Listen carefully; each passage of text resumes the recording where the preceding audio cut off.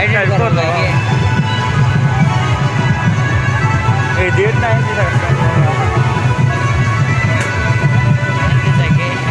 này chỉ một cái